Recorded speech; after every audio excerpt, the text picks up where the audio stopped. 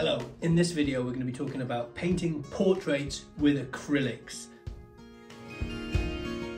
For me, the benefit of painting with acrylics, number one, is it's just easy to set up, easy to set up, easy to take down. I just like the ease. I think it's a really, really vibrant medium. So over the years, I've painted with a load of different types of brushes.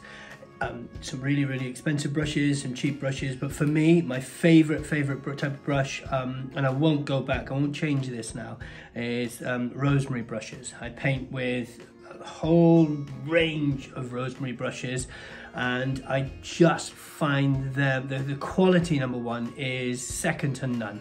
Really is absolutely tip top, top notch. I can't rate them highly enough. They hold the paint really, really well and they are just a pleasure to paint with. So um, I'm going to link to Rosemary in the description. Have a research, have a little look, start with, get, find a nice starter set and just, well, I think once you've had uh, experience with rosemary brushes, you're not going back. These are quality, quality brushes. They are a little bit more expensive, but they are, you get what you pay for with regards to these, okay? So make, make sure you look after them. Really important that you clean them well. I'm sure that there's going to be some traditionalists uh, that are going to rally against this, but um, to be honest, I don't care.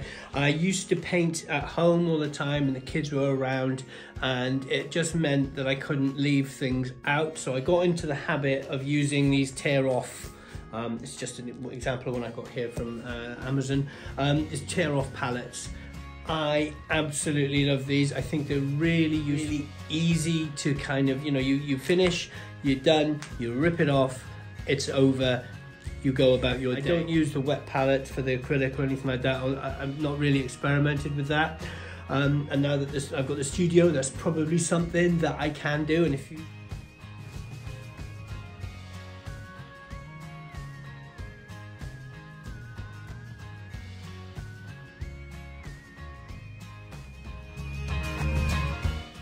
I paint with two different types of paint with Winsor Newton professional quality paint. So there's this one here. All right, Winsor Newton. And I also paint with Cryla paint as well, all right? So it's Cryla and Winsor Newton. Um, I love the Winsor Newton, particularly the titanium white. It it, the titanium white is just such a pleasure to paint with with the Winsor Newton. Is it really, really is. I've painted over the years with a variety of different types of acrylic paint, but for me, the Winsor Newton is absolute quality.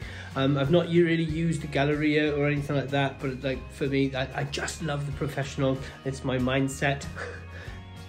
but you know it's just it's just a good quality paint you do you have to be careful with paints as well you do get what you pay for um, in terms of pigment and things like that so if you're buying cheaper paints and you're wondering why you're not getting the same results as other artists who are using better quality paints that's one of the reasons why, okay? Because the paint that you're using doesn't have as high a pigment as the paint that the quality the artist's using, which are quality paints, okay? So you do get what you pay for.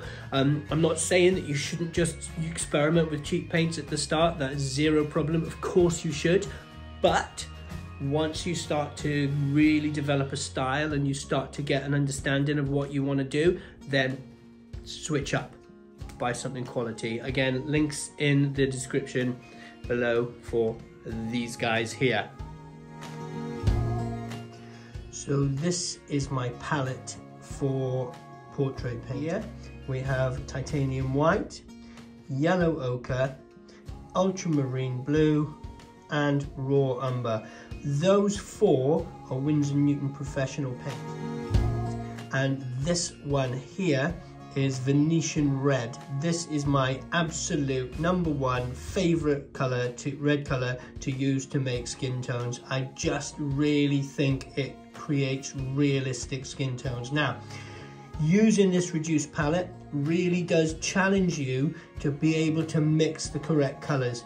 One little tip, ladies and gentlemen, that is absolutely vital. Make sure in between the changing of the colors that you clean your brushes and you get it nice and clean to start afresh. If you don't, you're gonna end up with a muddy mess, okay? we all get involved and we all enjoy the process and we just sometimes forget, but you must be disciplined with this. You must keep it fresh. Your paintbrush needs to be fresh and it needs to be on it, okay? It needs to be clean. If you don't, you are going to make it muddy and it is going to be a problem. You can create such a mixture, such a blend of colours here with these five, okay? You will be surprised just experiment. Remember, you're not create you're not setting out to create a masterpiece.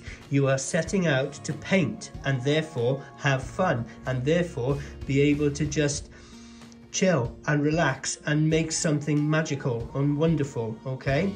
If you if you push yourself, you will. If you do it every day, you paint every day, you work hard, you will get better.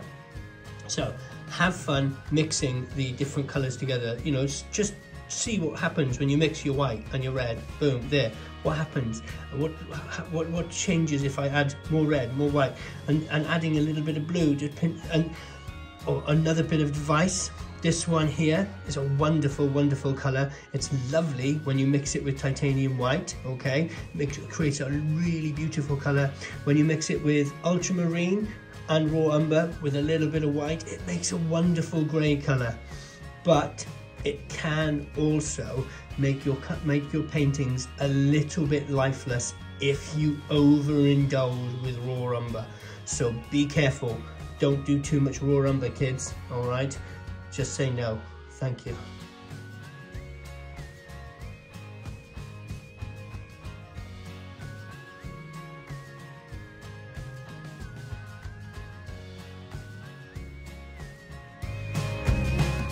Just a couple of tips then, all right? Just some things that I've learned over the years with painting with acrylics. One thing, keep it wet, keep it moving. Acrylics have a, um, they're quite notorious for drying quite quickly, although that can be quite fun to use, um, that kind of quick drying to blend, blend, blend, and you know, keeps you on your toes. If you keep it wet, then it does you do extend the life of that paint a little bit and you are able to move it around a little bit. Once you apply it on the canvas though, it can dry quite quickly, so you must plan ahead. That's my second Start big, start broad with your paintings, put in broad layers of different tones, use that to kind of build up your form and then once you get that all right and done and ready, then you can start to bang in the detail my final tip, and this is really important, so write this down. Have fun, enjoy your painting. It doesn't matter if you're doing it for three, four, five hours straight, or just half an hour because you could, your kids are coming home in a bit and you've got half an hour, so ha! Just have fun, okay? Don't set out to create a masterpiece because you might be disappointed. If you just enjoy the process and every painting gets better and better and better, that's genius. That's a really, really good way to live with regards to your painting, your drawing, your art, all right? So have fun. Number one, a bit of advice, which came in at number three, but you and follow me, all right? Thanks.